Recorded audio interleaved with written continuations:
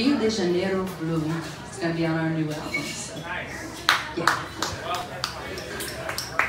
Yeah.